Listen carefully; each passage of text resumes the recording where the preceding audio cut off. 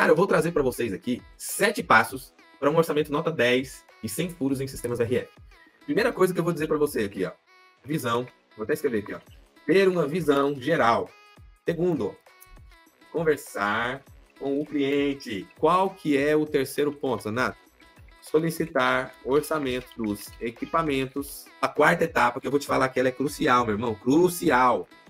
Ó, fluxograma do sistema VRF. Quinto passo, montar a sua, vou botar aqui, tá? PQM. E qual que é o sexto passo? Solicitar orçamento das infraestruturas. E eu vou te falar o último passo, só que não. Eu vou entregar um passo a mais para vocês.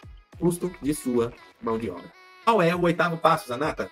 Apre... Ó, vou botar aqui, ó. Apresentação do orçamento. Proposta matadora.